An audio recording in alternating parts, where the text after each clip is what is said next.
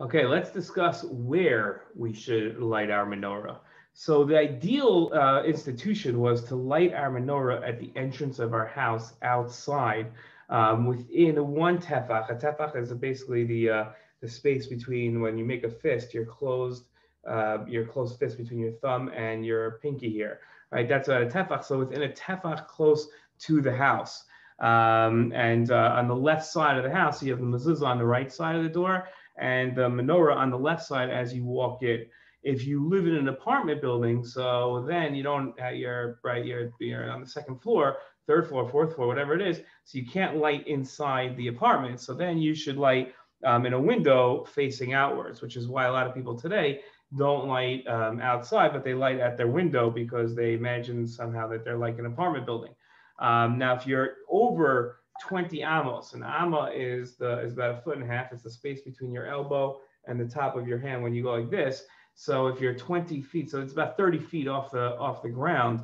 Um, so then you can't. There's no point in lighting in the window because nobody, when they look up, they can't see the menorah anyway. It's too high up. So then you just light inside um, at your dining room table or wherever. I mean, there's no problem lighting at the window, but really that there's no difference if you light out in somewhere inside the middle of the room or at the window.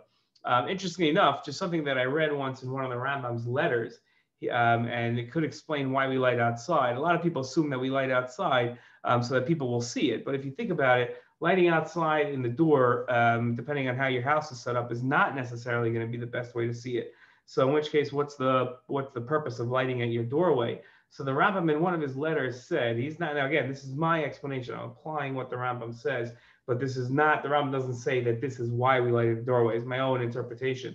The Rambam says that one of the decrees that the Greeks made against the Jews was that they were not allowed to do mitzvot and they had to leave the door of their houses open so that a Greek soldier could always just peek inside and inspect. There was no privacy.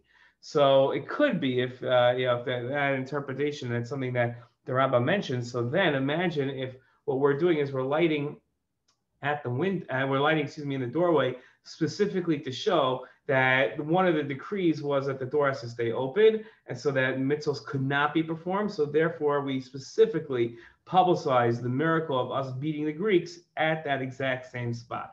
Interesting interpretation, take it or leave it, but I think it makes a lot of sense and it adds some meaning to us in Israel, at least, who light at the doorway. There are those in America that do also, but for the most part in America, they light inside or outside of Israel, I should say, not just America, but in Israel, most of the people, again, it's not, not an apartment building, but if you have a private house, then we light outside at the door.